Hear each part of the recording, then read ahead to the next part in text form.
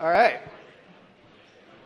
Let's get started. There's lots of empty seats today. This is good. I uh, succeeded in scaring a bunch of you away or boring you to tears or something. But the rest of you, we can enjoy our time together. This is lovely. And for those of you who are watching this on the internet, hello. Okay. so today, what I thought I'd do, and this is kind of in the spirit of a quick start to the class, was to get you uh, just enough information both on how a database kind of could work and how you might write some simple queries so that you're, you know, armed and dangerous to deal with at least one table at a time. So the whole spirit of the class, just by the way, the way we, I like to structure it, is to front load material so that you kind of get your homeworks early, kind of get going early, and by the time we're midway through the semester, towards the end of the semester, this class is easing off in terms of workload, and you can focus on some of your other classes. So it gives a little bit of load balancing on the homework, hopefully. Um, and also, just you know, when I took uh, databases low many years ago, they spent a lot of time on like conceptual stuff, and it was a long time before we understood how anything worked or got our hands any, on anything. So I try in this class to like get your hands dirty right away. That was basically homework one. Um, and then this lecture will kind of complete a short, skinny slice through sort of data management so that you can at least walk up to a database and, and be dangerous. Okay, and also you can build some simple algorithms to do stuff like joins and and uh, uh, hashing and sorting and things like that. So today we'll knock off single table queries in SQL, and I'll talk to you a little bit about sort of the query processing architecture that's typical in building data pipelines. And then um, uh, next time we'll start talking about joins. And after that, you'll kind of have query processing under your belt, which is one of the first things you sort of want to think about or learn when you're dealing with large amounts of data. All right. So jumping right in, the goal today, basic SQL, which is sort of the standard query language that everybody continues to use, and then query executor architectures. So how do you build a query executor? Just a comment before we uh, dive into SQL. How many of you guys uh, know some SQL? Great. And how many of you ran into SQL because you had to for a job? Uh, and how many of you learned SQL for some other reason? Uh, okay, mostly p- for practical reasons. It's a pretty little language. It's a domain-specific language for data. Um, it's kind of reasonably well suited to its task. It's pretty old, and there's things that are kind of crufty about it, but for the most part, it's pretty good. How many of you know another query language, database query language? Okay, shout out the names of the query languages you know. Loud. Pig? Anybody else? There were some other hands up. Just shout out the name of the query language you used.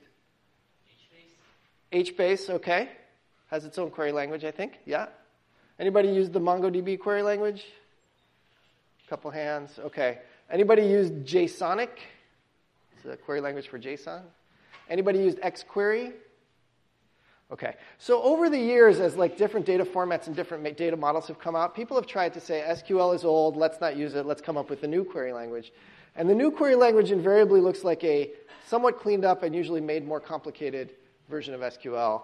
And then people end up devolving into saying, you know what, let's just build SQL again. So, like, all the Hadoop vendors are building SQL, and a lot of the NoSQL backends are building SQL, and uh, a lot of people have like SQL layers over JSON. So, even as we sort of evolve with technology, SQL sort of an old friend of a language. You may not love it, but you're certainly going to want to know it, and it's handy.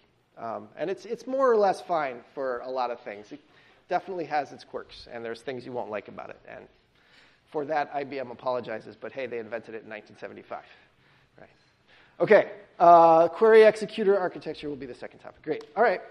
So uh, let's jump in a little bit of relational dogma, and I don't particularly like dogma too much, but here's the way most relational databases have worked and continue to work, although there's some variation on this. Typically, in a relational database, when you define a table, you give it a schema, which is a description of the contents of the table in terms of um, the name of the table, the number of columns, the names and types of the columns. And that schema is typically fixed. We assume it's not going to change very often. You can change it over time. There's a command called alter table in SQL. You can add a column or drop a column or do things like that. But generally speaking, you can assume that the, the structure of the table is kind of fixed. And that's nice, just the same way that in like a language like Java, you declare your data types and they have a particular structure. unlike, say, something like Python, where you know types can be looser, right? So this is much more of a uh, uh, uh, structured, a well-typed language, all right? So we're going to define the types of our tables up front. We call them schemas. Um, so you have attribute names, and then each one of the columns or fields of the table has a type, and that data type in traditional SQL is an atomic data type. So it's not like it can't be an object or, or, or some kind of composite type. It's always like int or float or, stri- or text or one of these sort of very basic atomic types. Now, most modern SQL databases will allow you to define more interesting types. You can have a type, a column of type JSON, or a column of type, uh, um, you know, set of something, or a column of type array of something. You actually, those are all extensions to basic SQL that modern systems support.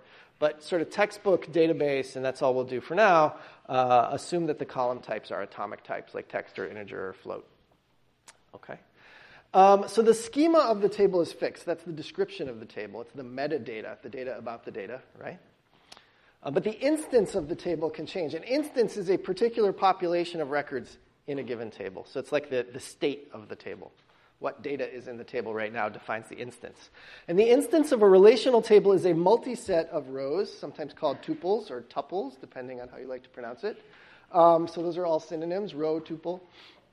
Um, and it's a multi-set, which means you can have duplicate rows. So you can see here that Bob Snob uh, with GPA 3.3 in the CS department appears twice.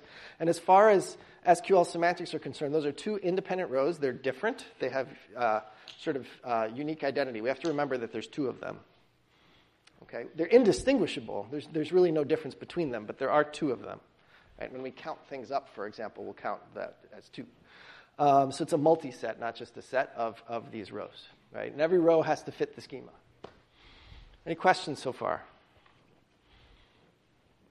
It's pretty simple, but you can imagine many things you might want to change. Yeah. Is there an order? There is by default an order to the columns, um, and it's the order you type in when you do the create table command, which we'll probably see later on. Um, that order doesn't get used for much. You can, and it's usually not recommended, you can reference fields by position. You can, I think, say dollar one or dollar two for the second column or the first column. Definitely not encouraged. Um, and the order can be changed with an alter table command, so also not a great thing to count on staying the same. But the names, people would typically not change the names of the columns. Why would we want multi-set instead of set? Is an excellent question. Um, well, uh, does anybody want to try to give it an answer? I think it's debatable, frankly, but does anyone want to want to vote for why multi-sets are good? This is sort of a dorky example. Any of you have a data structure maybe where you feel like if you put it in a table it would need a multi-set representation? Or can any of you manage an application where you'd have two copies of the same row?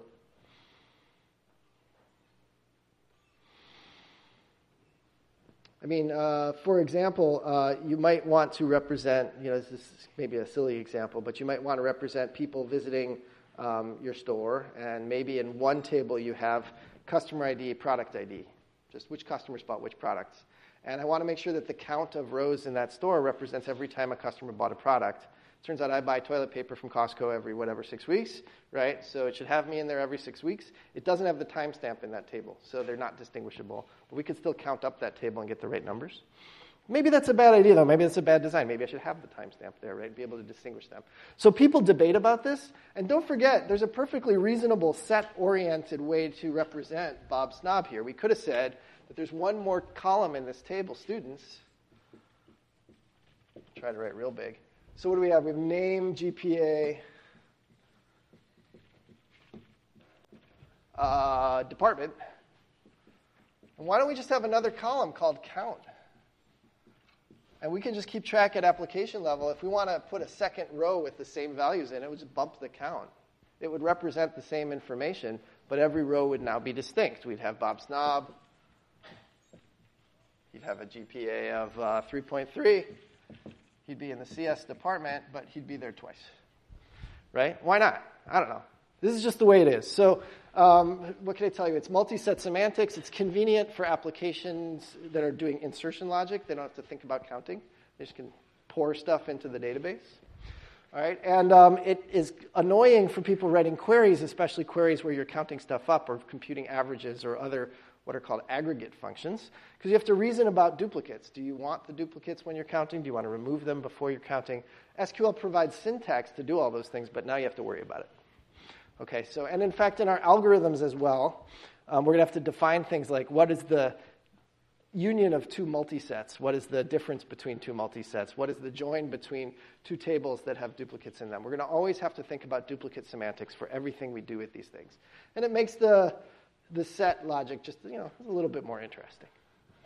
It's not that big a deal, though. Anyway, great conversation. Thanks for bringing that up. But it is, it is the way it's going to be, multisets.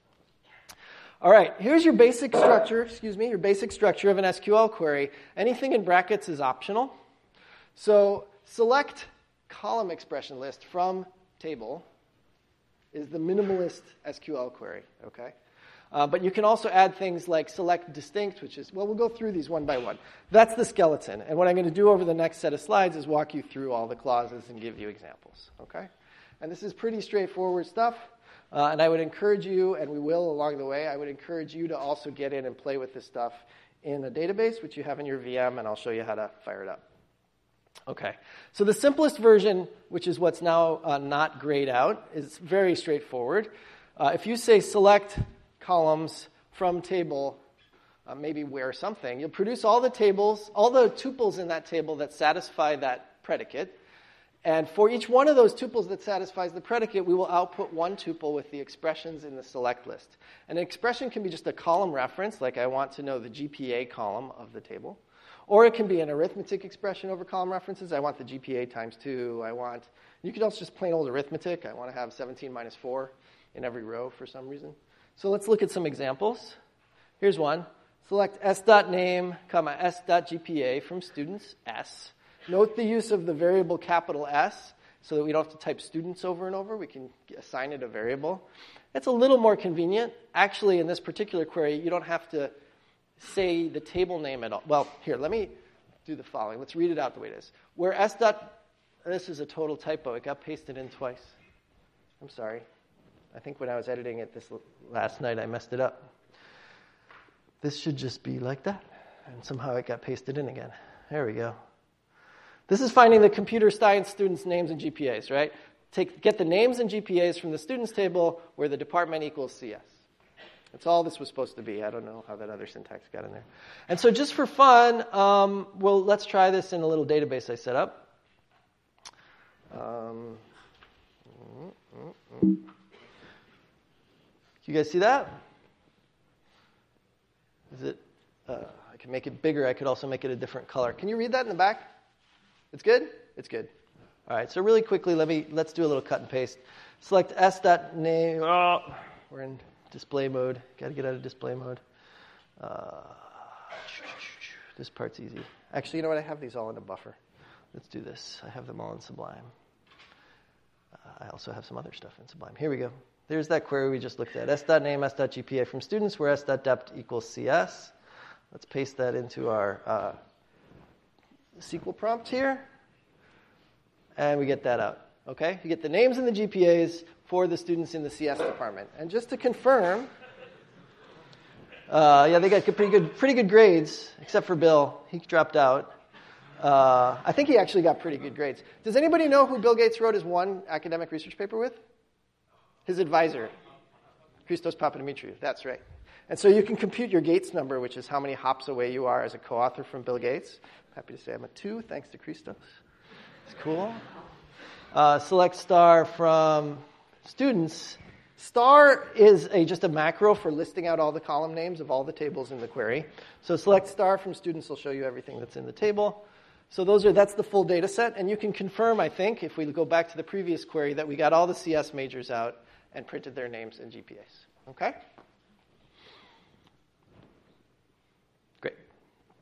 All right, so that's fine. Let's go back to our examples here. So that's the most basic query you can have pretty much is select star from table. Uh, one step better is select particular columns from table where some condition holds. It's called a predicate. Okay.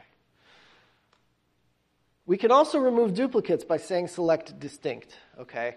And if you say select distinct, all that happens is we run the very same query, but right at the end, and remember you have to do it at the end because there can be no duplicates on the input, but duplicates on the output. So let's see this.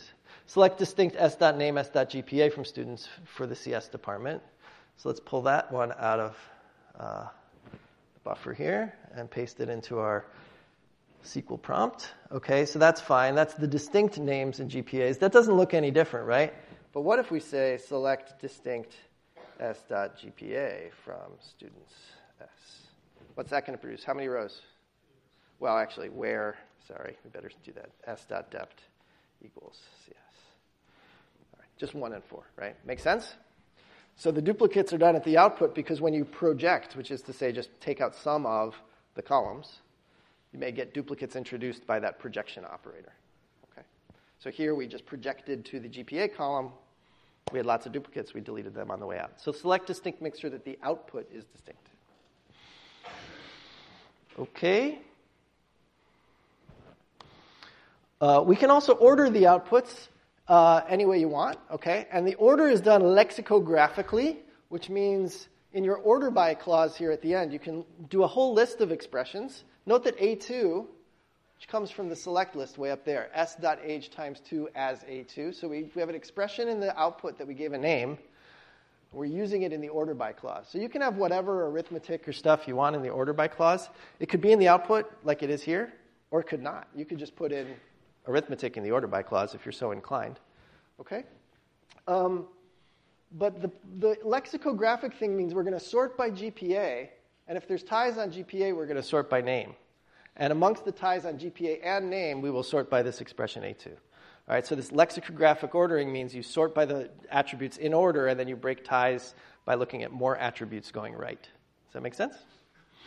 That's what the dictionary does with letters, right? You, you, the A's come before the B's, and within the A's, the second letter determines what comes before what, and on ties for that, the third letter determines what comes. It's like that, but it's with fields instead of letters, right? So it's nothing surprising. All right, uh, and notice this as clause for naming output columns you can reuse in the order by. So let's just have a, a look at that real quick. Uh, make sure that everything's uh, working the way we expect. Hello, thank you. There's that query. All right. And there it is run. And you can see it's ordered by name. There's no ties on name, so that's not very interesting. But, uh, well, let's just kind of, well, if we take out the name part, uh, then we'll get some ties. Where are we here? Oops. Distinct. No. Oh, man. What happened? Order by, oh, we, we got name in the uh, ordering list, but there's no name in the output. So I think I lied, actually. Let's, we'll try that in a second. We'll see if I lied about something. That should work. Right? We got ties on four, and then they're ordered by A2, right? Now, I made an assertion before that you could put any expression you want in this, in this uh, thing at the end. So let's just try that. I may be wrong. Um, let's say instead of ordering by A2, we just order by S dot GPA, uh, square root of s dot GPA, which is an absurd thing to order by, but it's not in the output, right? But are we allowed to order by that? And the answer is no. All right, so I'm sorry. I used to be able to do that in Postgres, but obviously it was illegal and somebody turned it off. So your order by expressions have to be in your output. I am wrong. Okay. Which is why we use that as A2 business. Okay? Excuse me. By the way, there's lots of details like in any programming language in SQL. This is not going to be the kind of class where we're going to like quiz you on your SQL syntax and make sure it's letter perfect on a handwritten exam or anything like that. Like it's a programming language. We expect you to do live coding and consult the internet and all those good things. So don't get hung up if like what I just did, I should get no points off as a professor for not getting that right because I tried it. And now I know, and it's just like that's how you learn to code. So it's fine. Same thing should hopefully apply on your on your homeworks and exams on your exam, we're not going to take off points for little syntax things and minor details. If you didn't understand something conceptual, like how to use distinct properly to get the right answer, that would be different. Okay. Um, you can make your order bys descending or ascending uh, by basically column by column, saying whether you want it to be ordered up or down. Descending is downwards, ascending is upwards. All right. Uh, and that probably isn't an interesting example to run, but it is legal. Okay, and then here's where life gets a little more interesting. This is computing aggregates. So in this case, I want to know the average GPA of students in the CS department. And I will tell you that in Postgres, the word average is actually not a supported keyword, it's AVG. Um, and I think that varies from SQL to SQL, um, but that should be legal. So we'll try that query. Want the average GPA from students in the CS department. So let's first of all go back and look at the students in the CS department again. We'll just. Uh... And you notice a variation I'm doing now. I didn't do that capital S business at all. Uh, I just did dept, right? I said select star from students where dept equals CS, and it's implicit in a single table query that there's only one table you could possibly be talking about.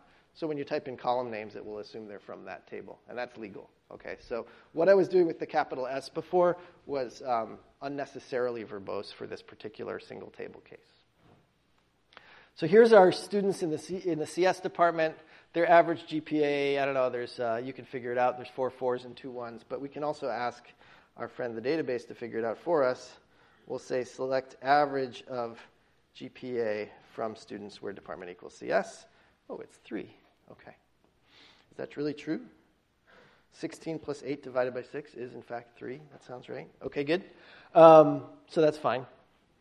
Pretty simple. Let's make it more interesting. Um, before producing the output, what happened here, right? We took all the input rows and we computed a summary of some arithmetic expression, average of s.gpa, where the input to that arithmetic expression was a set of numeric values, right? And this is going to produce one row of output, and in this case with just the one column of the average. There are other aggregates besides average. There's sum and count and max and min and standard deviation and median and a few other. Actually, there isn't median. Some systems support median. There's a few others, sort of simple statistical uh, aggregations, all right, that you can compose together to do more interesting things. You can use distinct inside the ag function. You can say select count of distinct name from students Okay? And so it'll remove the duplicates before it does the counting. If you don't say distinct on the inside, it won't remove the duplicates. So just to be clear, let's uh, let's go back here. Let's look at our students. I think Bill Gates is only in there once, but he's a bit, he's the wealthiest guy in the world, right? So he should be in there twice. Cool. So we'll say insert into students values Bill Gates. This time, let's guess that his GPA was 4.0, though. He must be older than 60. He's in the World Domination Department, and he is male. And you notice the single quotes, and you notice the syntax for insert into is pretty straightforward. I'm not going to teach you everything. So he's in there twice now. Oh, he's in there three times now. Awesome.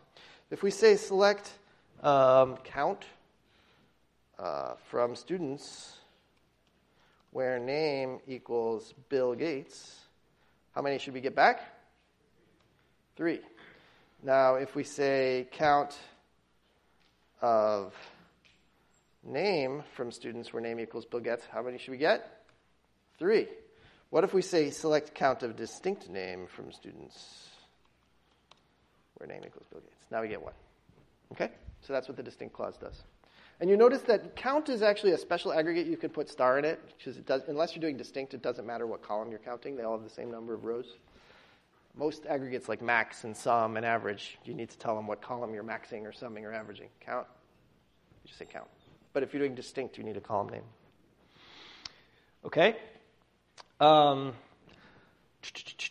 and notice the, the, if we did this distinct on the outside, what does this do? Anybody? The second query, what's the difference with the second query? When does the distinct get invoked?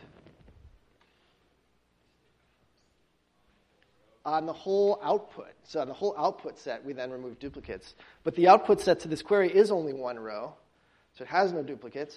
So select distinct won't do anything here, right? So just to be uh, pedantic about this, let's type it in. And you'll see that this is still 3 because there's one row. It contains the number 3 and it has no duplicates. Life is good, right? So the select distinct is done right at the output. You got to put the distinct inside the aggregate. Question? Do rows have to have all their fields identical to be duplicated, or is it identical? They have to all be identical to be duplicates. So let's just hammer that home. Let's look back at our schema for students. Oops, that went by fast. Uh, so let's look at, say, GPA and age. Select uh, GPA, comma, age from students. Okay, there's a couple of dupes in there. 4 comma 35 is in there twice, I see. Um, so there's 11 rows there, and if we say select distinct GPA, comma age from students, there's only nine rows. Yeah, so there were two duplicate rows before. But they have to be duplicate on all the fields in the output. Good. Okay, so those are simple aggregates. Now let's make this more interesting. I want to know not just for the CS department, but for every department, I want to know the average GPA. Right? Rather than having to run a query for the CS department and a query for the business department and a query for the English department separately, I can run one query that says select the average GPA and department name from students group by department. So it breaks it into departments, and then it runs that aggregate query per department, essentially. Um, just to make this uh, painfully clear, let's run it on our, our database. Uh, where's our group by query? Here it is. All right.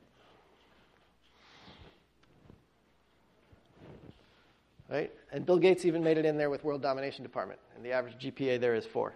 Now notice that um, the department field was in the select list, select average GPA, comma department. Okay.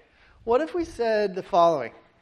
Let's uh, also ask for the, the student's name. Right? So I want to not only know the average, I also want to know the name of the student.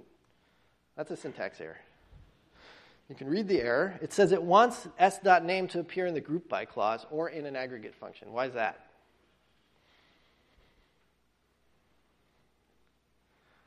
Yeah.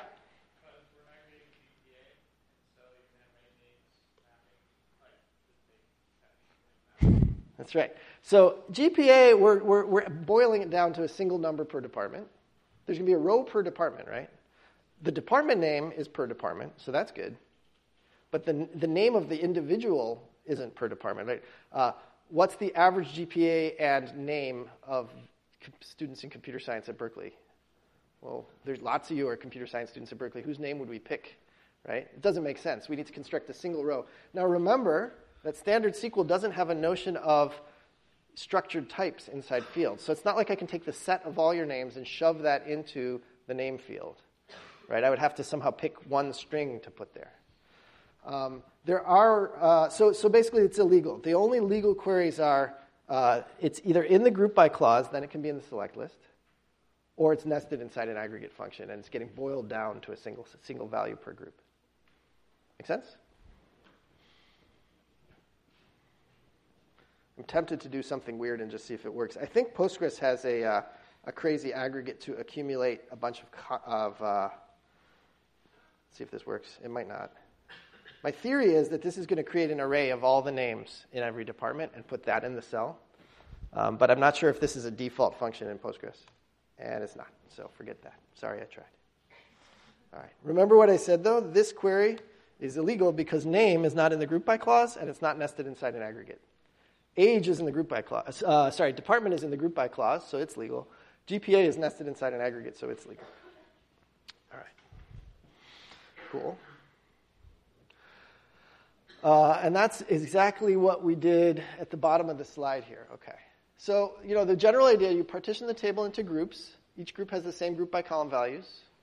Uh, you can group by a list of columns. So we could also say group by s.department, s.name, and then you'd get all the Bill Gates and the CS department grouped together, and the other people in the CS department would get different groups, right? So, um, for example, let's just do that. We're going to select the um, count, let's say, uh, of department common name for students group by department common name. So this is legal now, right? Because everything that's in that select list is in the group by list. So that's legal. What's the output look like? Well, it's department name pairs because we asked to group distinct department name pairs. Right, so the group by clause, the more things in the group by clause, actually, the more rows you get because you're, you're, you're, slicing things finer. You're saying, I want more details per group. Now it's a department and a name. And you'll notice that there are two CS Bill Gates tuples, right? There's two Bill Gates in the CS department, so the count there was two. Make sense? Can anybody uh, identify? Does anybody know who all the people on the list are, just out of curiosity? Raise your hand if you recognize all those names and you, you could describe who they are most of them, I'd say all but two of them are fabulously wealthy, And uh, the other two are important data people, let's say. So if you don't know who they are, you can Google them. And um, some of them are Berkeley alums, but I'm not sure how many, at least one. All right. Okay. Now, one more clause on group by queries that you can add is the having clause. Only, only makes sense if there's a group by query. It's a way of filtering output rows after group by that don't satisfy a condition. So remember, the where clause filtered rows, but it filters them before the group by. The having clause is going to filter groups after the group by. So this particular query, I want the average GPA and department from students, groups by department, but I only want to see departments that have five or more people in them. Okay?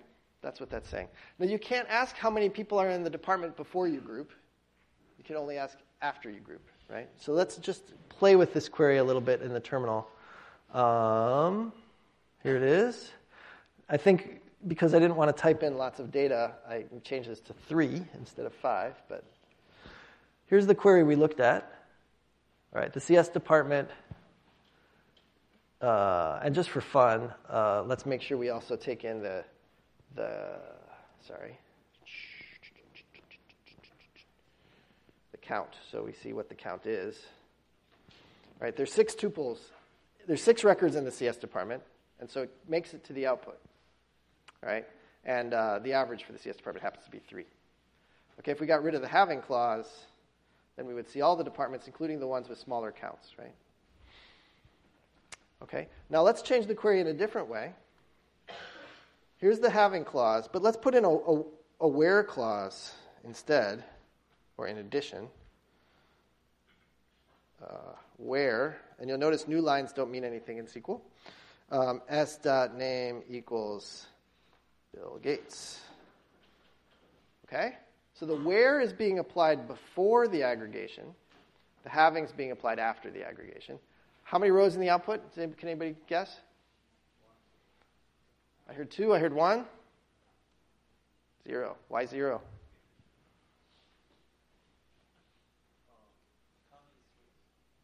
Sorry? Count as three is not satisfied by any department once we filter only to people named Bill Gates. Right? So the input to the aggregation is just students where name equals Bill Gates, which um, is the output of this. Oh, that won't work select star from students where name equals Bill Gates. That's the input to the aggregation. All right, there's two in the CS department and one in the world domination department. Then we compute the counts of that table and the averages of that table, and then we check the having clause on the output of that, and no department has three rows in it. Right? So where is applied before the aggregation, having is applied after. In this case, the where leaves us with only two CS tuples and one world domination tuple, and none of the remaining groups have three things in them. Right, but if we change this to greater than or equal to 2, then we're good, because there's two Bill Gates in the CS department. Yes?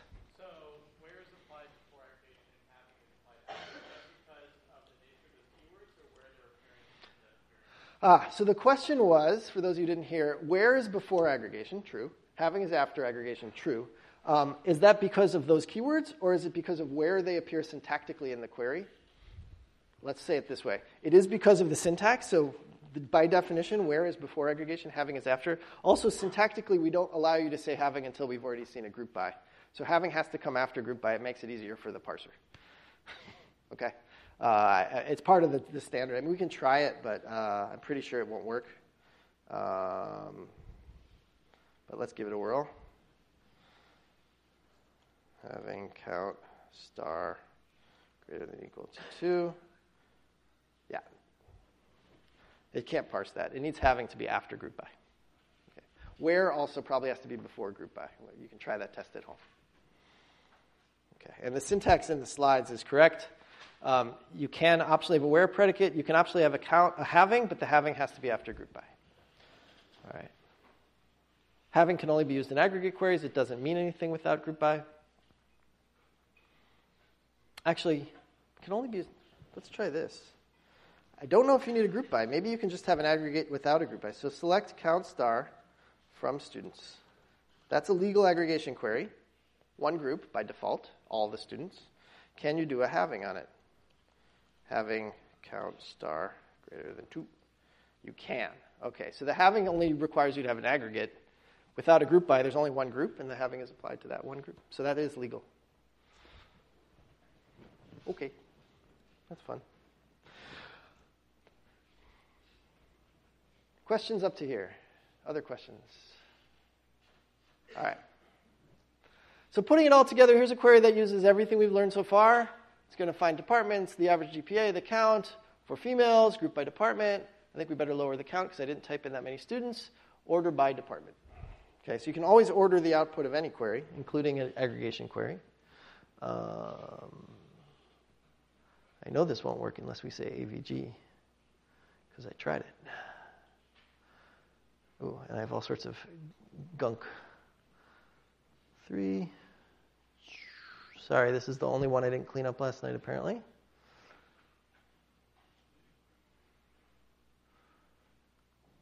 And let's make that actually greater than or equal to 2. So we get some output. Okay, good. All right, it's got a select, it's got an average, it's got a count from where. Oh, there's a syntax error there. You can see, we'll have to fix that. Where s dot department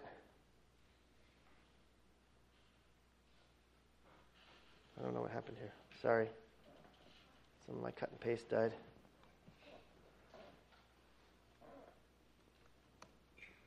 There we go. I think that'll fix it. Nope. There's some messy text in here. Sorry. One more minute. Group by do, do, do, where s gender equals f. Sure looks okay to me. Copy, paste. All right. I think it's just a. I think actually. I think it's a screen wrap thing. No. Ah. All right. Well, I'm not going to type this one in.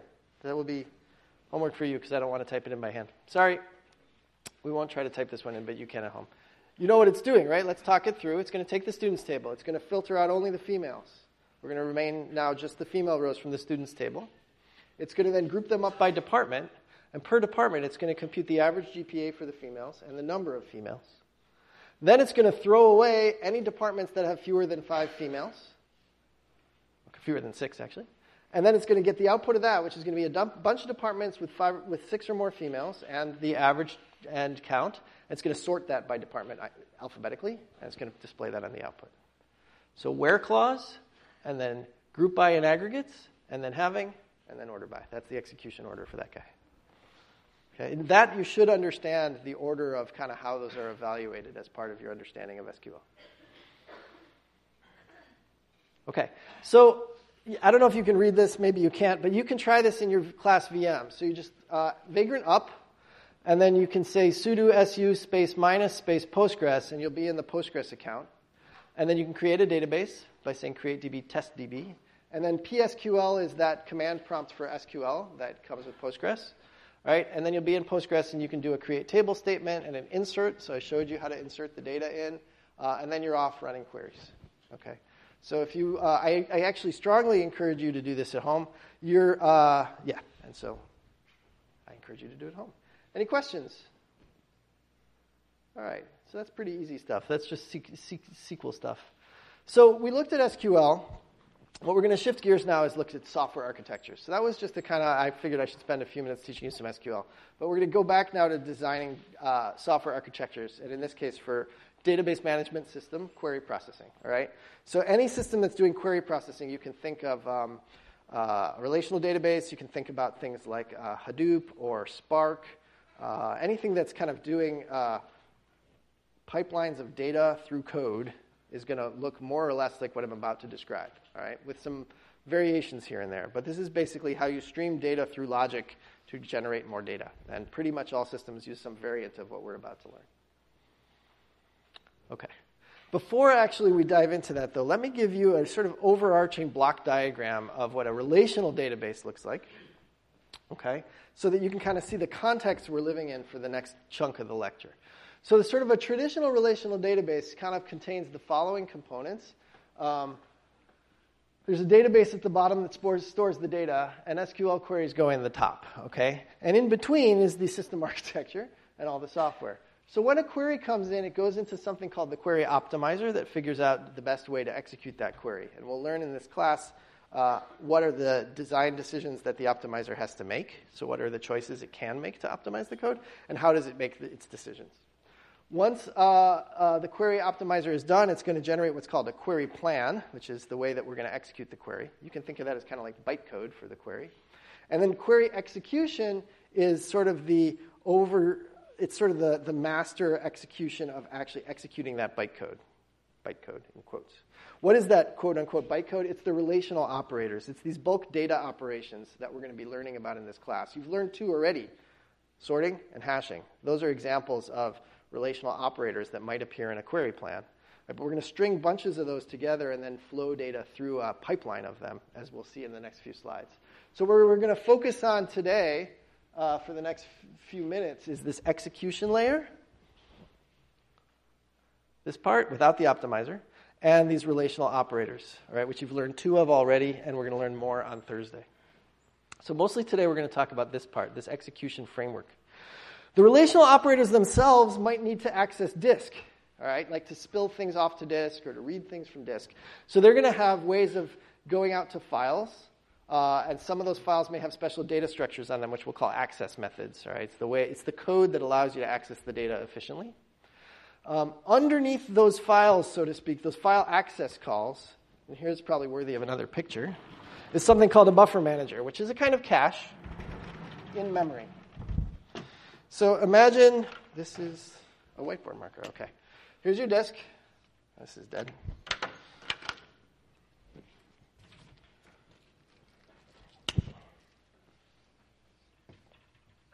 Here's your disk. It might be an SSD, it might be a magnetic disk, but we'll just draw it like a can. Uh, here is uh, your code, so to speak, that's requesting data. You know, read next block of file F. Okay, there's some code in your system that wants to do that. It could go directly to the disk drive, but instead it's going to go through an API, and that API is going to check in a cache of disk blocks that have been kept in memory. Okay? So this, each one of these little rectangles here is the size of a disk block. Remember, a disk block is the size of thing you can ask for from the disk. So the disk delivers things in blocks. Let's say that's like 64 kilobytes. So each one of these rectangles is a 64 kilobyte slot in memory to hold a disk block. And that's what this thing is. And this thing's called the buffer manager.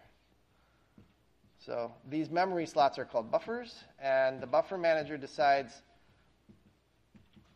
at any given time what disk blocks to store here and keep, and what disk blocks, when you read a brand new one, should get kicked out to make room for the new one. Okay, so the buffer manager is a cache of disk blocks between the uh, access methods for the files and the actual disk itself. And the last piece of software in here that we're missing is the disk space manager, which determines how to lay out the files on the disk drive itself. Okay, uh, and it has to do things like you know reorganize things when there's free space. Maybe it also takes care of um, uh, certain failure modes on the disk but we'll talk about file layouts for databases uh, as part of the class as well. So this is sort of a, a full stack in this rectangle here. It's sort of a full stack for a single user database. It goes from raw queries to raw disk IOs via uh, query parsing, optimization, and execution, these operators, and all the file and disk access, and then brings the data back out. The piece that's missing from this picture is what's being alluded to over on the right, which is if you have multiple users using the database concurrently, we're going to have to worry that they don't mess each other up. So that concurrency control logic kind of affects all three of those bottom layers. The files and access methods, the buffer management, and the disk space management are all interleaved with concurrency control. All right, so we'll have to learn about that at some point. And then logging and recovery is also going to be a piece of this puzzle. So as you're doing IOs to the database and deleting things and adding things, we're going to also need to make sure that if kaboom, that disk drive is, explodes, there's a way to recover the data, and that's going to be done through a log file, and it's going to be on another device. So the logging and recovery component of the system is another piece that interacts, unfortunately, with all three of those things on the bottom. All right. So this picture you have over on the left is good enough to understand kind of a single user or isolated execution of a database. And if you want concurrent access, you got to do the stuff on the right. Your traditional relational database has all of that stuff.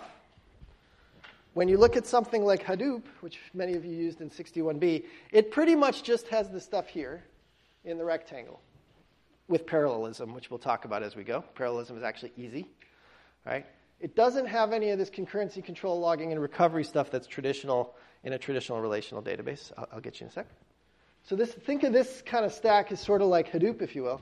Funny enough, NoSQL databases like Cassandra and uh, uh, MongoDB and things like that are kind of a horizontal slice from the file and access method layer to the right. So they don't include much of a query language typically, or the relational operators and execution, but they do do some concurrency control and recovery, and some of this disk management. So it's sort of like Hadoop kind of went this way, and the NoSQL things kind of went that way and sliced the relational architecture apart. For simplicity, mostly, actually, in order to scale up. We'll talk more about Hadoop and NoSQL and all that later, but since some of you are familiar with it, I wanted to make sure that this picture, which is a traditional relational database picture, you get a sense that the systems you're interested in kind of fit into this picture in some way. Then there was a hand. Yeah.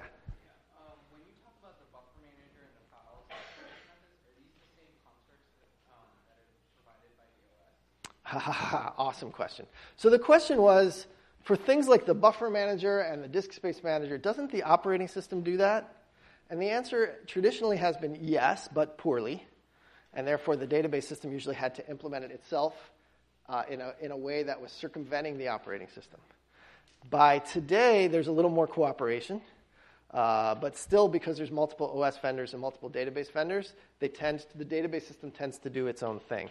And some of it has to do with this concurrency control and recovery stuff that database, relational databases like, okay, that the, the operating system typically doesn't have hooks for. So we'll talk about that at great length when we talk about concurrency and recovery uh, and why the operating system doesn't do the right job for us. Um, there's something also to do with this replacement policy in the buffer manager. Sometimes databases uh, want to do that themselves as well. Um, so typically, the, what the database does is it circumvents the operating system one way or another, gets access to its own memory, and manages it itself. Similarly with disk space. So like allocate a big giant file that's the size of the entire disk. The operating system doesn't know any better anymore, and the database works within that. Very typical. This goes back to like Sun and Oracle not agreeing with each other in the 80s kind of thing, or you know the researchers in Soda Hall, like the database guy, and the, it wasn't Soda Hall, Evans Hall, the database people and the operating systems people, like the BSD group and the Ingres group didn't talk to each other enough. It like it goes back to those days, to the 70s. Could you have built it all together? Yes. Uh, the other thing I'll point out while we're on this little happy uh, side comment is uh, Windows uh, tried to integrate the two. Uh, at one point, there was something that was going to be called WinFS, which was a file system for Windows that was supposed to be a relational database. And Bill G was all into this, and it almost destroyed Windows 7, apparently, because they just couldn't get it to ship and be fast at everything that the file system needed to be fast at. So actually, Microsoft made a valiant attempt to bring these worlds together in the like early 2000s and failed. And depending on who you ask, they failed for polit- political reasons or for technical reasons. So you can get many versions of that story, but uh, typically they're separate. Long answer to a short question. Any other questions on this kind of high level view of a database architecture, database system architecture? Okay. So today, as I said, we're focusing on a very small little slice, which is the execution of queries. Okay. So here's the deal. The, we, actually, I just talked this through, but let's talk through the top pieces, really just the top box of that big rectangle. The query optimizer translates SQL to a special internal language. I, I called it um, um, bytecodes, but uh, that's a sort of Java analogy. They're query plans, is what we call them in database land.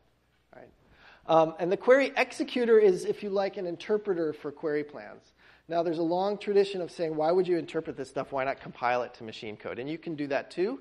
And essentially, what you'll do is you'll compile the kinds of programs I'm about to show you how to interpret, and that's fine. The compilation versus interpretation thing is kind of a detail.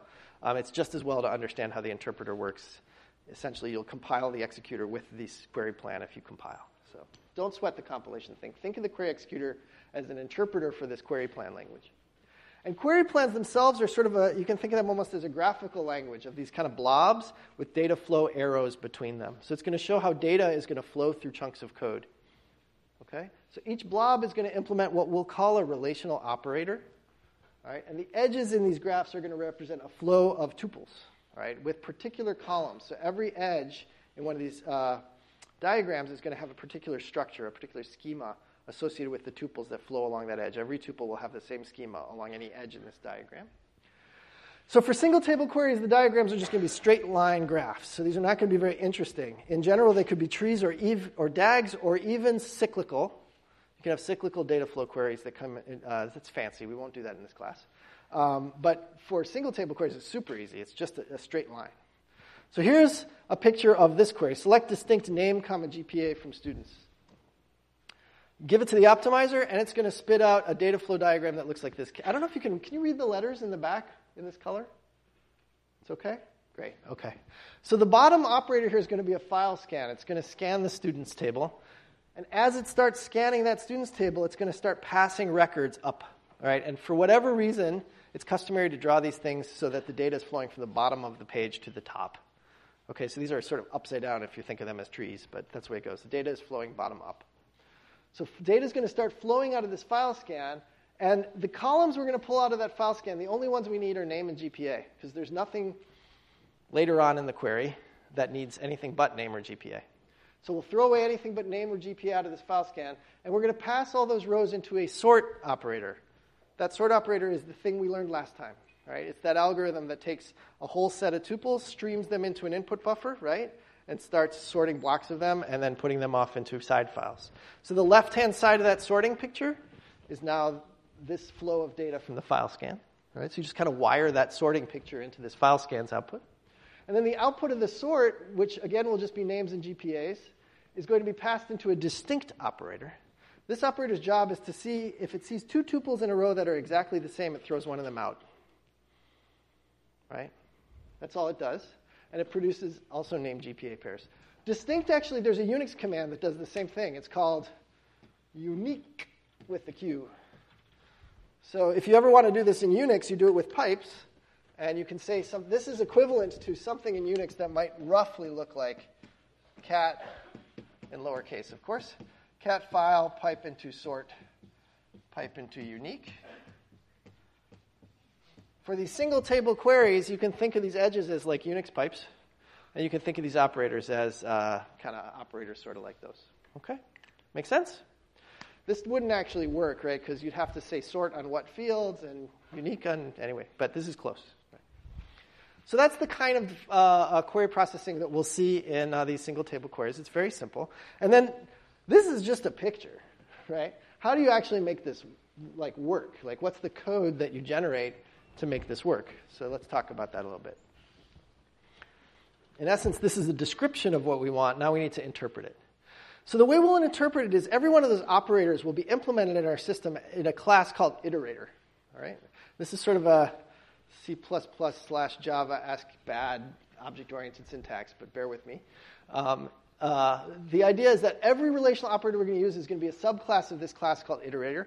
Iterator has three methods, init, next, and close and look at their signatures. And it doesn't return anything, it just initializes the operator. It says, we're going to we're to do query now. Get ready. Next is going to return a single tuple. Every time you say next to an iterator, it should give you back a tuple. And then close, it doesn't do anything either. It just says, we're done, you can tear down your state. Okay? And it's going to have an array of inputs, which is going to be able to represent something not only like this picture, which is the picture we saw in the previous slide, but maybe something that's more DAG shaped or tree shaped, where you have multiple inputs to that iterator. So there'll be an array of inputs to the iterator, sort of left to right. What are all my input flows? Some, iter- some, some subclasses of iterator will admit only one input. Some will admit two inputs. In principle, some could admit many inputs. All right, it depends how you implement your iterators. All right, typically in this class, we'll see iterators that take one or two inputs. Right? And then anything else you want to do in your iterator, you can obviously subclass it and add additional state. So the edges in the graph are actually implicit, right? This is the picture of the data flow, but actually the data structures are that there's three iterator objects, and this one has a reference to two of them in its inputs.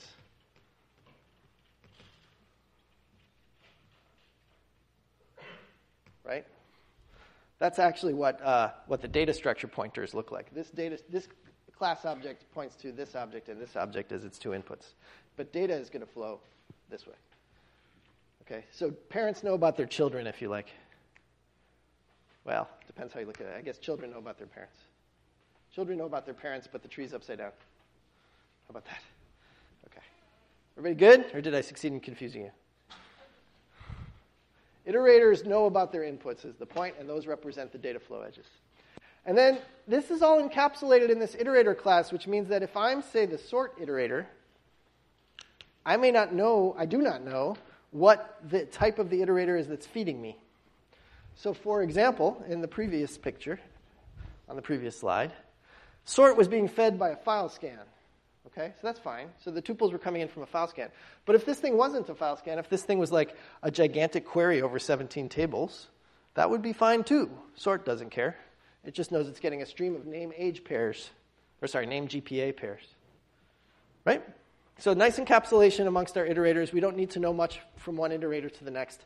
There's one exception that's on this slide. There's a thing we need to know. Does anybody catch me? I'm lying a little bit.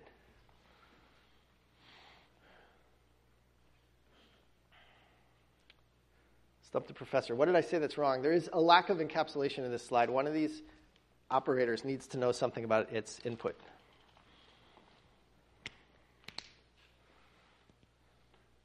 In order to do its job.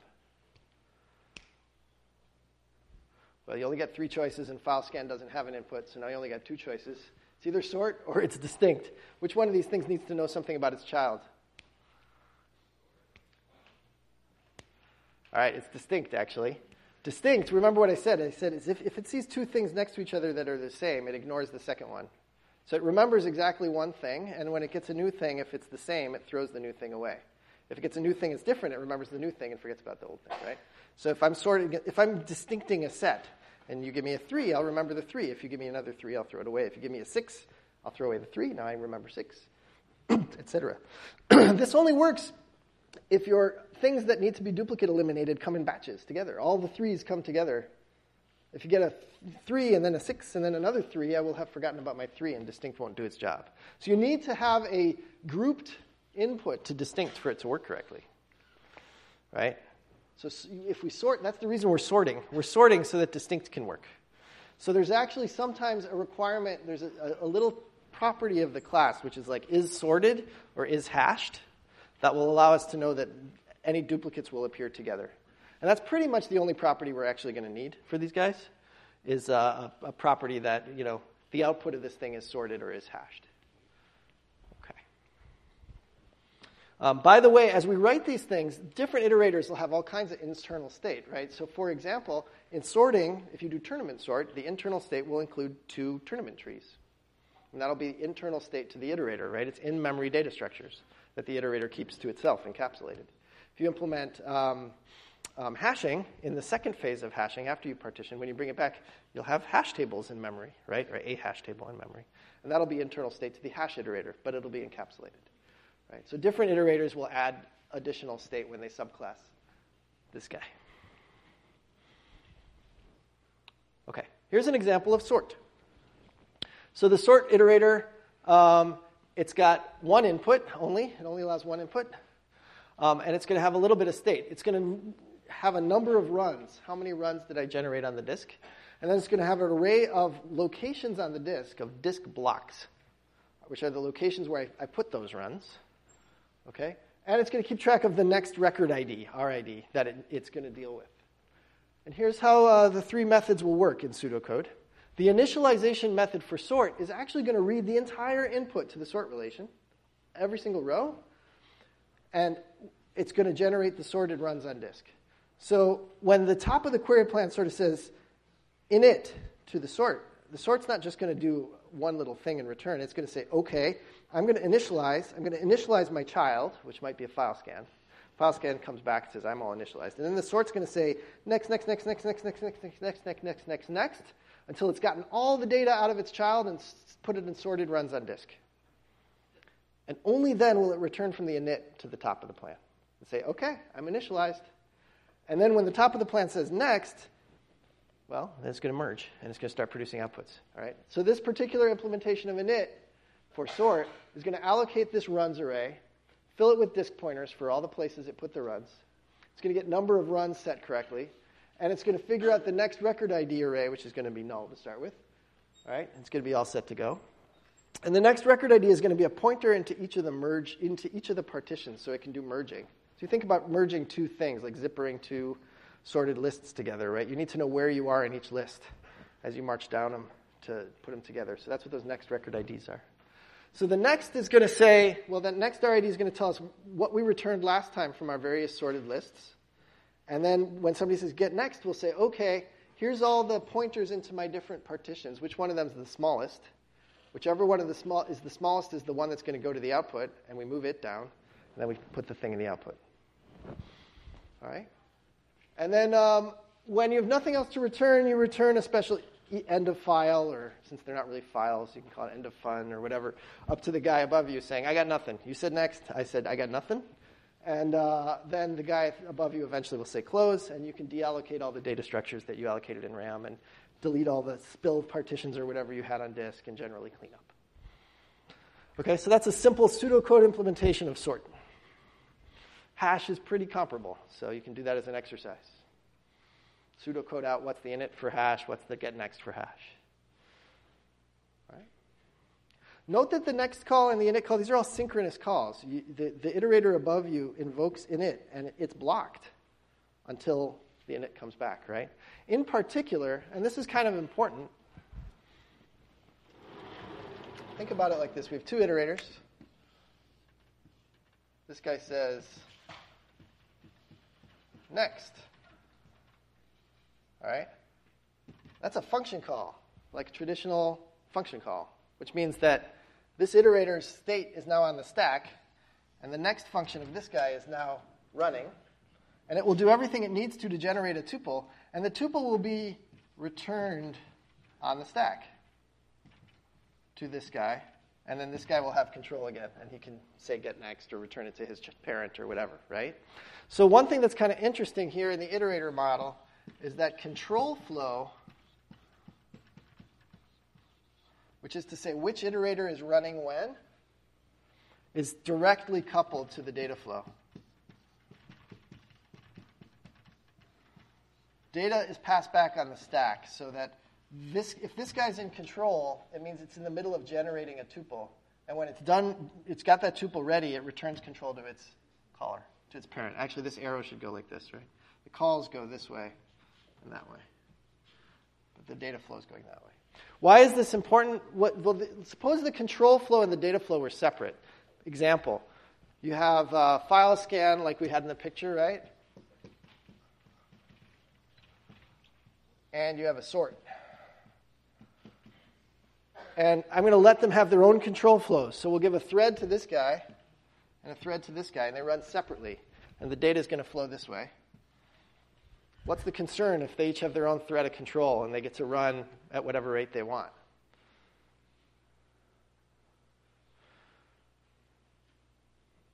Is there anything could go wrong? Yeah.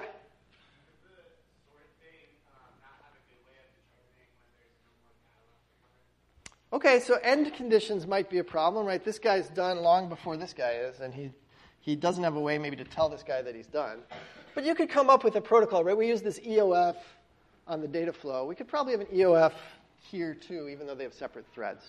I think that part's not, not so bad. But you're on track of something we should be concerned about. Yeah.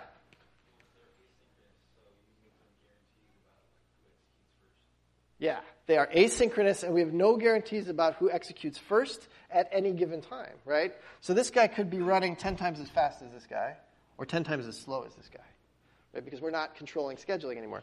What happens if the file scan runs 10 times faster than the sort? Yeah. My buffer could overflow. I actually don't have a buffer in this particular picture. So this guy's like vomiting out tuples along this arrow. I don't know what this arrow is, but it better have some spare capacity to hold all those tuples that this thing is vomiting out while this guy's sorting real slow, right? So whenever you have um, these things separated, you have to worry about things like buffering. right? This guy's got to put things in memory so that this guy can get them at his leisure. It's a form of rendezvous, like we talked about last time, right? The handoff between this and this is made possible by having a little extra space. What if this guy's really slow? And the sorting guy is like really fast. What happens to the sorting guy?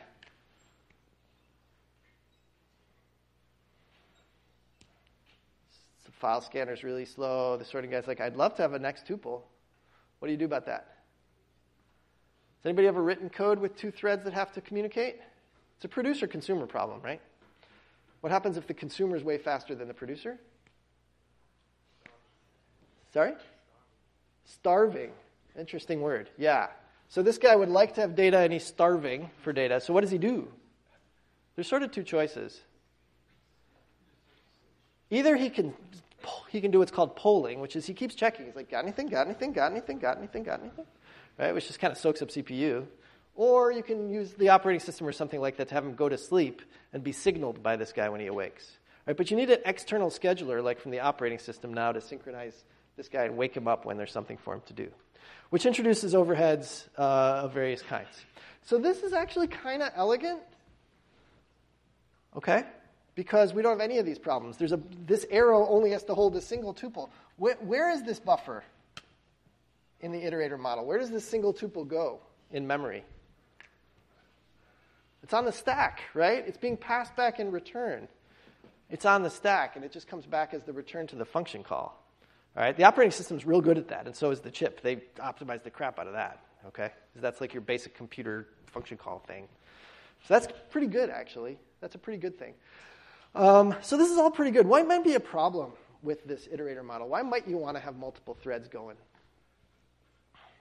Anybody think of a scenario where it, it would be a good thing to have multiple threads going? It'd be really lame to do this iterator thing. Multiple, multiple queries. Mm, multiple queries on like different tables and stuff just have nothing to do with each other, I think. So that's okay. But it's an interesting theory. It's multiple something. You're, you're on the right track. Oh, multiple threads asking the same table could be a problem. It might not be a good thing. So I'm looking for an example of something where multiple threads might be a good thing. So we're sacrificing. This has a single thread of control. So I'm asking the question is when might that be bad to have a single thread? When, what's the, the basic reason you might want to have more than one thread. Yeah.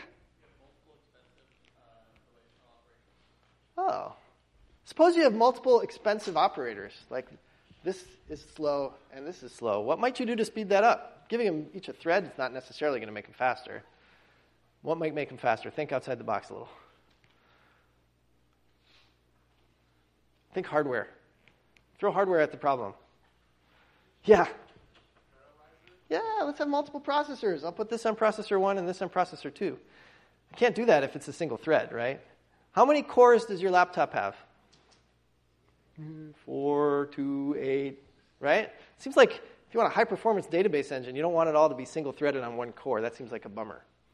Okay, so hardware, multi core, or even better when you have lots of processors, lots of boxes, like Hadoop kind of context, we're going to be dealing actually for sure with multiple threads somehow. Okay? So today's a little bit simplistic. It's kind of from the era of a single core where this makes the most sense. Okay? Um, now, your operating system and a lot of other things on your laptop are not really taking advantage of multiple cores very well. Why is that okay for, for now? Why is it okay that like Microsoft Word is single threaded and uses one core, which is probably false actually, but let's assume it's true. Yeah. You don't need. I mean, yeah, Microsoft Word doesn't use a lot of compute. So what do you do with the other cores on your laptop? You listen to music, you play video games, you have some process that's reorganizing your disk, right? There's all sorts of junk going on. So you just kind of say, well, everything will be single threaded, but we can soak the processors with important background tasks. In a database server, that usually says, well, we have more than one user. It's a database server. It's fine. Every user will get a single thread, it'll be fine. And that's okay if you're running lots of small queries, and it's kind of bad if you're running one really big query. Okay, so there's a bunch of trade-offs here. Um, when you're thinking about building the next infrastructure for your new employer after college, you want to keep in mind what your workload looks like, what hardware trends look like, and whether this is a good idea anymore. This single-threaded match your control flow to the data flow. It might be a great idea. Single thread per query, run like bazillions of them at once on really beefy hardware, that might be awesome. A lot of in memory databases will do that. Right? Lots of small transactions. It's all in memory. It all goes lickety split. You don't want to do process and task switches and buffering. If you're building a Hadoop like object, which is going to take a pass on a petabyte once a day, all right, you want to get lots of processors moving on that thing. Um, you know, and, and, lots of data flowing through each one of them, and all the CPUs pegged. Which, by the way, Hadoop has terrible CPU utilization. But in theory, if it were well implemented, it would use up lots of CPU. Um, so in that case, you might want to think about revisiting some of the stuff I'm talking about here. But for now, we'll just focus on single-threaded uh, iterator model. All right. And the fun thing about this, just so you know, is that the code you actually write init, next, and close if I told you that this was, instead of being function calls, it was going to be, at the end of this thing, instead of saying return to next, you push the tuple into a, a, a send buffer to go off the network somewhere else, the code would be pretty much the same. Okay, so the basic idea here of encapsulating these things into these operators, the operators pass data between them, and the operators have methods to produce a tuple and handle a tuple, doesn't change so much when you change this control flow model. All right? But if all that seems like, wait, I don't really know what you're talking about, that's fine. Just stick with this for now. Okay? Stick with the iterator model and function calls. That'll be enough for this class. All right? Hopefully that was interesting to some folks, and if it confused you, what's in the slides is good. It's tried and true, and it's, it's enough for this class. All right, let's talk about group by a little bit. How do we implement group by? So we didn't quite do this. We came real close in class with sort, but we didn't quite do it. So the group by query is going to kind of look like this. There's going to be a sort operator, and then there's going to be an aggregate or group by, if you call it that, operator. And here's how it's going to work. The sort iterator is going to make sure that all the tuples that come out of it are ordered by your sorting clause, okay, which is going to be the group by columns. So the query optimizer is going to take your query, it's going to generate a sort, and it's going to be sorted by the group by columns. All right? And then the aggregate operator, what it's going to do Suppose you said group by department. It's going to get a flow of tuples from the sort that's going to say CS, CS, CS, CS, CS, CS, CS, uh, data science, right? And the minute it gets a data science tuple, it knows it's done with CS, right? So how's this going to work? The aggregate iterator is going to keep running information on aggregate functions in the select list. So let's do a specific query. Let's make this concrete.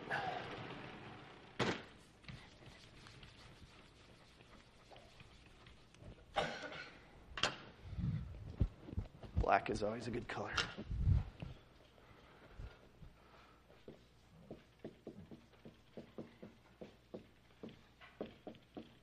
Oh, let's not do average first. It's just one tiny bit more complicated. Let's do count.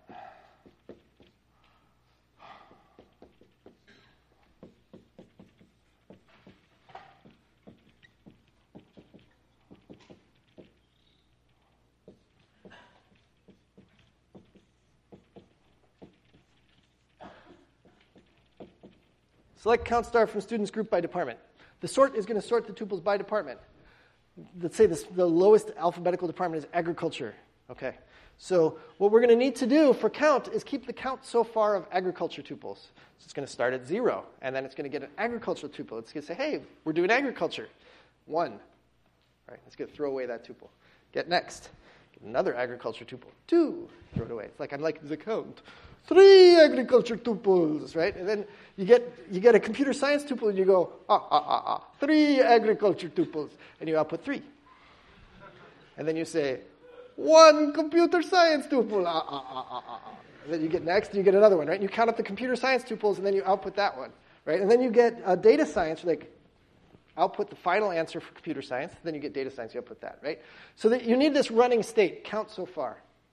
For sum, that works too. You could have a guy named the sum. He wouldn't look like the count. He would, he would look like anybody. He would be the sum buddy or something. And he would sum things, right? He would say, you know, I don't know, GPAs don't add up very well. Whatever. He would add things, right? So he would keep adding things, and when he was done, he would have an evil laugh, and then he would output the sum.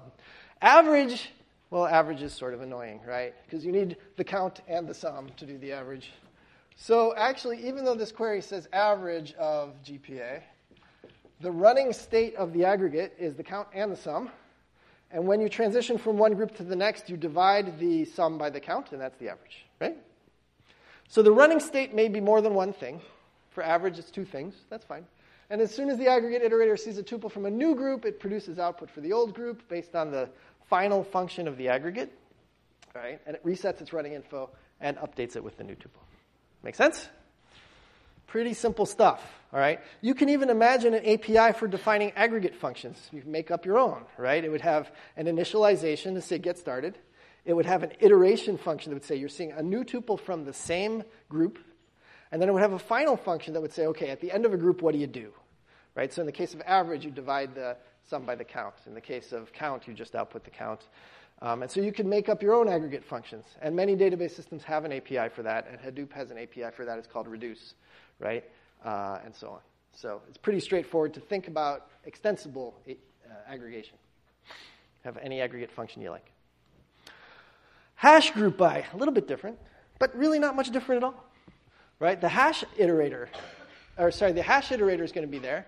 It's going to output its tuple to the aggregates. The only difference here from the aggregates perspective is that it's not getting its input in alphabetical order. So it might get zoology before it gets computer science, but the count really doesn't care. One zoology tuple, right? Oh, computer science, one computer science, right? So that's fine. Group by hashing works just fine. Right, but here's a funny thing. You can, well, okay, no, we're done, right? So hashing is almost exactly identical to the previous slide. In fact, let's do a little visual diff. Oh, I didn't line them up. That's so sad. They're almost identical, and I forgot to line them up. So that the diagrams lined up, but the text got reformatted by PowerPoint. So sad. Uh, but almost exactly everything is the same, except it's not ordered, it's hashed. Right? Okay, but we can do better, actually. We can do better with hash. We're going to define a single operator called the hash ag. It's going to do the work of hash and aggregate, but it's going to do it all at once, and it's going to get a win by doing this. So this is kind of cool. So what we're going to do is while we're doing our hashing algorithm, we're going to aggregate while we're hashing. So let's see how this works. We're going to first partition just like we always did in hashing right? So you take that coarse grained hash function and you generate output partitions and you spill them to the disk. But when we read things back in from these hash partitions, rather than populating a hash table with all the tuples, we're going to read them in and we're going to aggregate them as they come. All right? What are we going to build in memory for this partition? We're just going to build hash key, comma, aggregate state. So we're going to have an in-memory hash table